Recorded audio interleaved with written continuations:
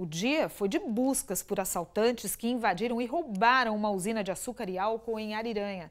Dois veículos que foram levados pelos criminosos foram encontrados. Os dois veículos foram encontrados em uma fazenda próximo à usina, mas o caminhão com 13 peças de bronze ainda não foi encontrado.